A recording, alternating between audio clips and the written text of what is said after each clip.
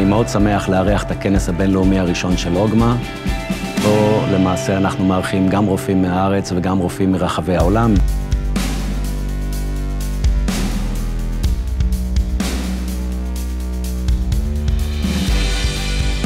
המרצים עצמם יחלקו מהידע שלהם ומהניסיון עם עבודה עם תחליפי עצם צמנטים שמהווים חידוש בפני עצמו בכל תחום האוגמנטציה. איך אפשר לעשות את זה הרבה יותר בקלות, הרבה יותר בפשטות ועם פחות סיבוכים למטופל.